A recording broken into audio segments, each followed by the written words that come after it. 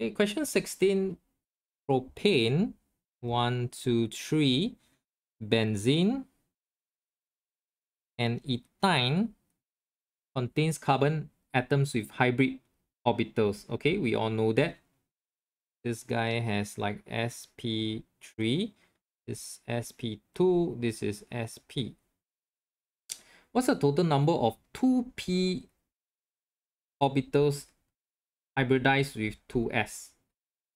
Total number of 2p. So we're, we're asking for total number of 2p orbitals that were hybridized with 2s. Okay, so if you look at um, propane, you should have 3, 6, 9. Okay, total of 9 p orbitals that's hybridized. Uh, for benzene, there's a total of 2, 2 times 6, 12. Okay, 12 e orbitals that were hybridized.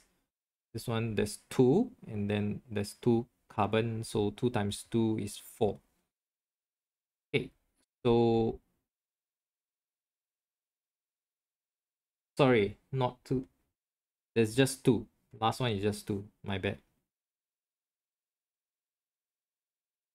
Okay, because just one e orbital per carbon.